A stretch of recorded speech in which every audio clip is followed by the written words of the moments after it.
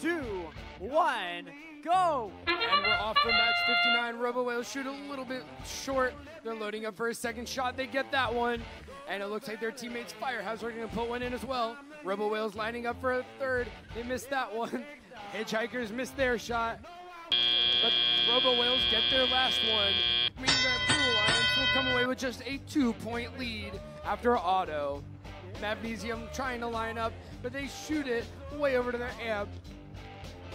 Hopefully, someone can pick that note up later and score it for the Red Alliance. Robo Whales picking up notes from the center line. Meanwhile, on the Blue Alliance, it looks like Hawktimus is lining up for a shot, as well as the Hitchhikers. Hitchhikers get theirs. Hawktimus shoot a little bit high. Robo Whales score one. They're lining up for another. They shoot. It's good, getting the Blue Alliance to a three-point lead. Red looking to take that victory back, and they do, making it a one-point game with Red in the lead. It is an absolute cluster over by the blue human player with three robots about to make four, and it looks like Fire Hazard is trying to play some defense, but now they're going over to their human player to go pick up a note.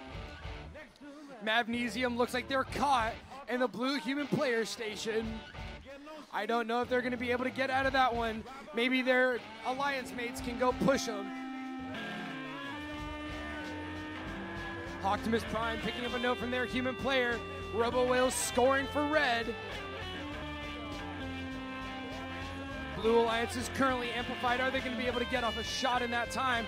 I do not know. It does not look like it.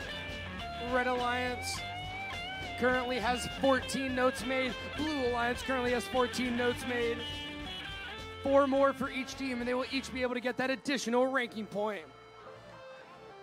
And it looks like 8090's bumper fell off after their teammate, Robo Whales, tried to set them free. They have been e-stopped in the Blue Alliance stage, and it looks like the Blue Alliance is still zooming across the field. What's that?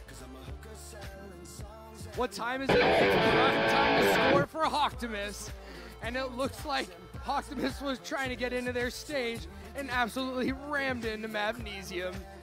Hawktimus going to try and climb for the Blue Alliance, and it looks like they are up. Will they be able to hold it? I don't know. Blue Alliance has one robot up. Can they get two with Hitchhikers? No, they cannot.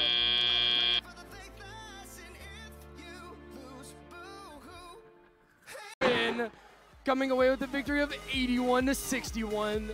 The Blue Alliance will take home three ranking points for that match, and Red will take home none.